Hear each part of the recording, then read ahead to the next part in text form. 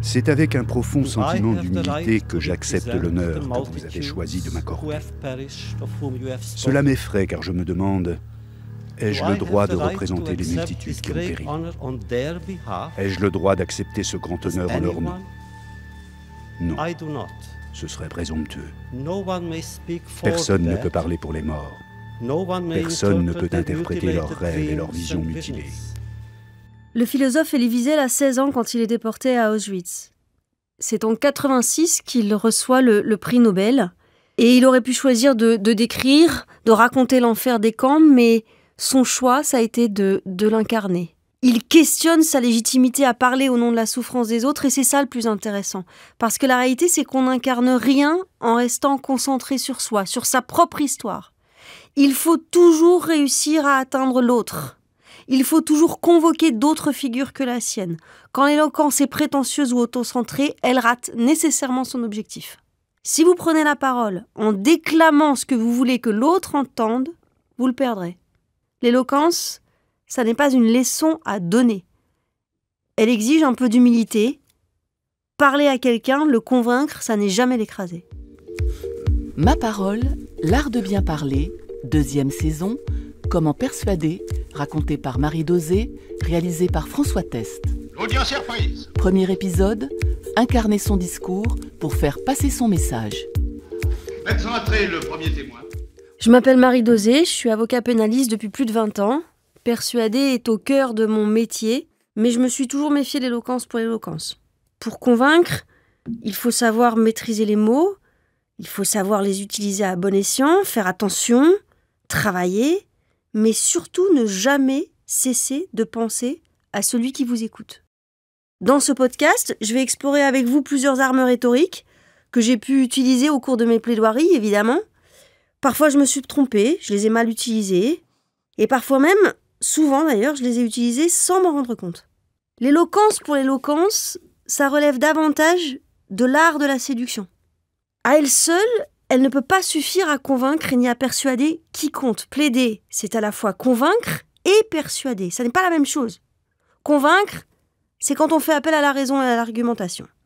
Persuader, c'est quand on a recours à des sentiments, à des affects pour susciter l'émotion. Et plaider, ça n'est jamais, ça ne doit jamais être une éloquence gratuite. Le verbe, s'il n'est pas au service d'un homme ou d'une cause, il ne sert à rien. Le verbe doit viser nécessairement à affiner la compréhension de ce que vous dites, de ce que vous voulez démontrer, et il doit aussi viser à créer une certaine empathie. Disons qu'en fait, si l'éloquence est une arme qui a ses lettres de noblesse, elle est très très loin de se suffire à elle-même et il ne faut surtout pas en aviser. Parfois même, elle submerge l'auditoire, elle le sature et elle peut tout gâcher. On a tous en tête le sempiternel discours du grand-père ou du grand-oncle qu'on connaît déjà par cœur et qui va nécessairement nous ennuyer. Il va nous ennuyer parce qu'on sait ce qu'il va nous dire et que finalement, ce grand-père, cet oncle, ne parle qu'à lui-même. Il ne faut jamais s'écouter parler, il ne faut jamais s'enivrer de ses propres mots. Et si vous prêtez attention à vos prises de parole, vous vous rendrez compte très vite que votre pire auditeur, c'est vous-même. Incarner un discours, ça n'est pas parler de soi et ça n'est pas parler à soi. L'incarnation que choisit Elie Wiesel dans le discours que vous allez écouter, c'est celle de l'humanité tout entière. Celle qui a fait le mal et celle qui a eu mal. Je me souviens, c'est arrivé hier ou il y a des éternités. Un jeune garçon juif a découvert le royaume de la nuit. Je me souviens de sa perplexité. Je me souviens de son angoisse. J'avais 12 ans quand Elie Wiesel prononce ce discours à la réception de, son prix Nobel.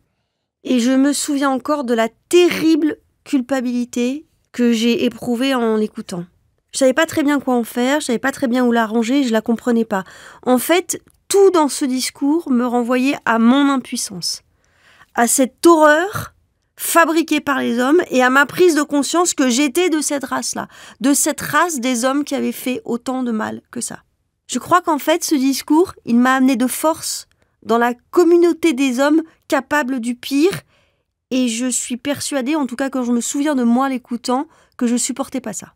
En fait, Elie Wiesel ne réussit pas qu'à personnifier le ghetto, les camps et l'extermination. Il va bien au-delà de ça. Il est bien plus qu'un témoin parce qu'en réalité, ce qu'il fait, c'est qu'il convoque des images insoutenables et qu'en même temps, il suscite chez l'auditeur, chez moi comme chez vous, un irrépressible sentiment de culpabilité. Je me souviens, il a demandé à son père Est-ce que cela peut être vrai? C'est le XXe siècle, pas le Moyen Âge. Qui permettrait que de tels crimes soient commis? Comment le monde pourrait-il rester silencieux Et maintenant, le garçon se tourne vers moi. Dites-moi, il demande, qu'as-tu fait de mon avenir? Qu'as-tu fait de ta vie? Et je lui dis que j'ai essayé. Ce jeu nous écrase. Il écrase l'auditoire. Il porte toute la souffrance de celui qui a vécu et survécu. Il y a dans ce jeu et dans l'humilité de ce jeu quelque chose du syndrome du survivant. C'est l'adolescent qui a tant souffert. C'est celui qui a vu agoniser son père entre Auschwitz et Buchenwald. C'est celui qui se dresse désormais devant nous comme la preuve vivante de la capacité des hommes à commettre le pire, mais la preuve vivante de sa capacité à survivre aussi. Ce jeu refuse de parler au nom de toutes celles et tous ceux qui ont péri. Et c'est là où Elie Wiesel est bouleversant. Parce que ce qu'il nous dit, c'est je ne peux pas, je n'ai pas le droit, je ne veux pas les déposséder de leur histoire. Qui suis-je pour m'autoriser ça? C'est là que le syndrome du survivant nous amène encore plus loin dans l'incarnation des souffrances endurées par Elie Wiesel et par ses frères de souffrance. Parce que ce qu'on comprend à ce moment-là, c'est qu'avoir survécu, c'est aussi une souffrance. Ce jeu finit par nous emporter mais plus encore, il nous aspire parce qu'il fait partie de la communauté des vivants. Vous devez toujours parler au nom des autres, toujours. Et vous devez toujours expliquer, si vous n'y arrivez pas, pourquoi il est impossible ou trop douloureux de le faire. La question de la légitimité à incarner l'autre chez Wiesel est ce qui rend la souffrance, la sienne, mais la nôtre aussi la plus palpable. Écoutez Elie Wiesel utilisez la première personne du pluriel, ce nous. Écoutez-le bien. We must take Nous devons toujours prendre parti. La neutralité aide l'oppresseur, jamais la victime. Le silence encourage le persécuteur, jamais le tourmenté. Parfois, nous devons interférer. Lorsque des vies humaines sont menacées, lorsque la dignité humaine est menacée, les frontières et les sensibilités nationales deviennent inutiles. Ce nous, on ose à peine l'entendre. Ce nous, on ne parvient pas à l'entendre parce qu'il nous relie à lui, à lui et à son jeu, et qui nous emmène vers une responsabilité collective. C'est cette responsabilité-là qui nous heurte et nous bouscule. Ce nous devient celui des temps à venir, celui de la responsabilité, celui du combat, celui du témoignage commun. C'est ça ce que nous dit Elie Wiesel à ce moment précis. C'est nous sommes tous des témoins. Pas seulement moi qui incarne la pire des souffrances, mais nous. Nous tous qui savons et ne devons pas nous taire. C'est notre silence qui autorise le pire. C'est à nous tous de dire et de dénoncer. Ce que dit Elie Wiesel, c'est que ce n'est pas son histoire, mais bien la nôtre. Contrairement aux avocats, les, magistrats ne connaissent pas celles et ceux qui jugent. Ils ont entre leurs mains un dossier qui prend la forme d'un visage et d'une voix au fur et à mesure de la procédure, mais ils ne les connaissent pas. Nous seuls, les avocats, nous les connaissons. Parce que nous passons du temps euh, avec eux, au parloir, dans les prisons, dans nos cabinets.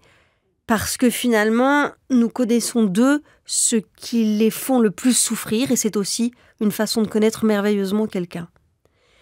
À un moment donné de cette procédure, le plus souvent vers la fin, il va falloir incarner ce qu'on défend. Et incarner, c'est surtout donner une voix à tous ceux qui n'en ont pas. C'est compliqué pour un accusé, pour une victime de venir s'exprimer à la barre. Ils nous donnent à incarner leur voix. Nous devons incarner, être la voix de celles et ceux que nous défendons. Nous sommes les seuls témoins, les seuls confidents de ces gens qui n'ont plus de voix pour pouvoir raconter leur histoire. Incarner, c'est exactement ça, c'est parler à la place de ceux qui ont perdu les mots.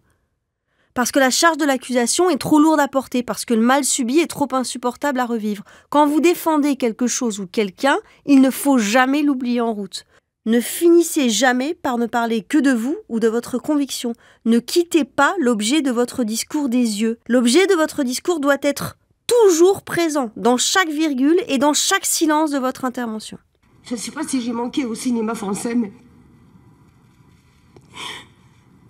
À moi, le cinéma français a manqué. Follement. Et perdument douloureusement.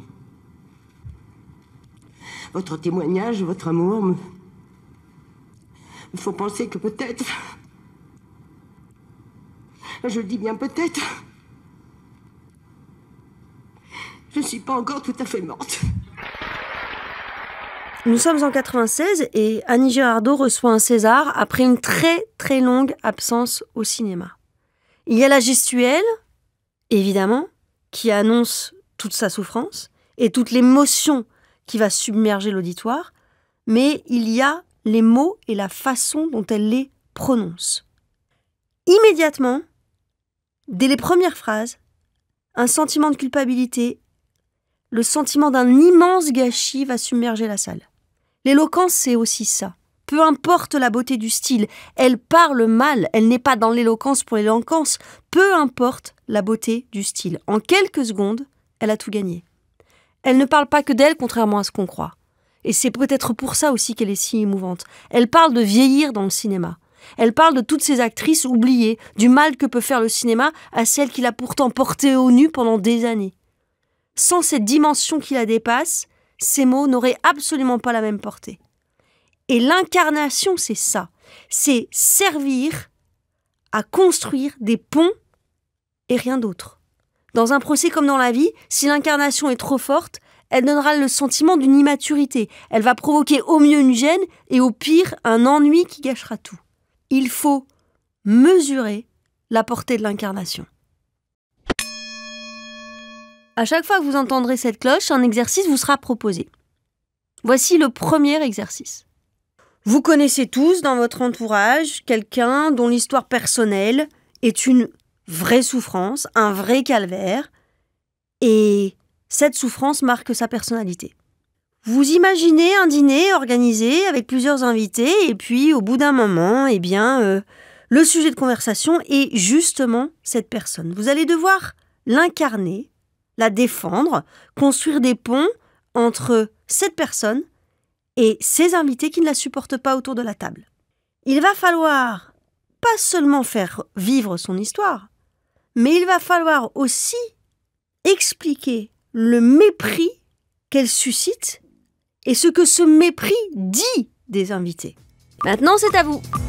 Après ce premier épisode consacré à l'incarnation, nous allons explorer l'utilisation d'images fortes pour mieux poser et imposer sa pensée.